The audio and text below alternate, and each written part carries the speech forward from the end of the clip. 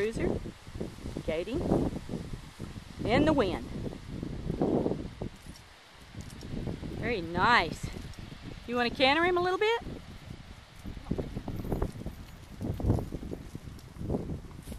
Very nice.